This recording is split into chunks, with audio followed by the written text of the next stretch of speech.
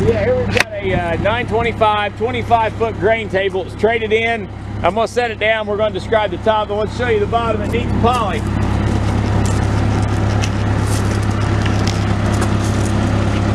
Needs poly, and uh, you can see right here, it's got a few dings in the in the center of the auger. It is a poly, a factory poly snout. I'll get the year in a minute. It does have some barber shopping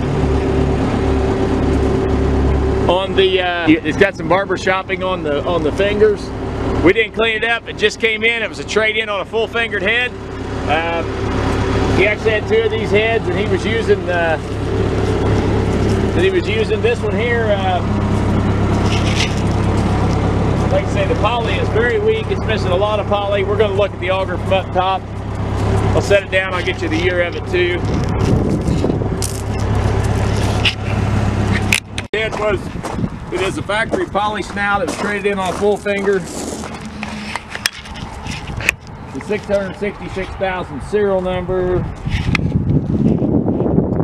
So that should put it like a 1996 model, I believe.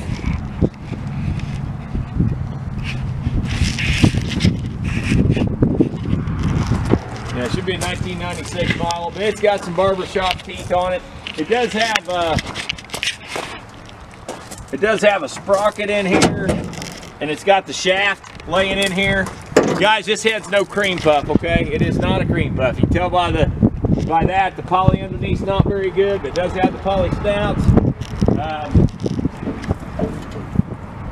it does have a few dings in the center of the auger, which we'll try. We're trying to picture the best we can.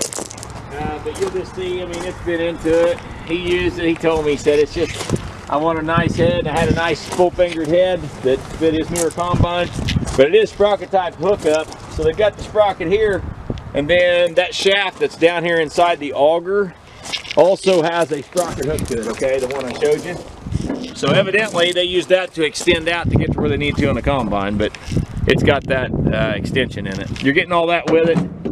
Um, I just left the snouts in instead of putting them on there because you guys are probably going to want it out haul it anyway. it's going to be sold absolute on Tractor House Auction. Uh, it does have uh, hydraulic fore and aft on the reel. See right here, it's got the cylinders on it here. I can see the one on the other side. So it does have hydraulic fore and aft on the reel. And um, like I say, just, just an average hit. You're going to buy it absolute on Tractor House Auction.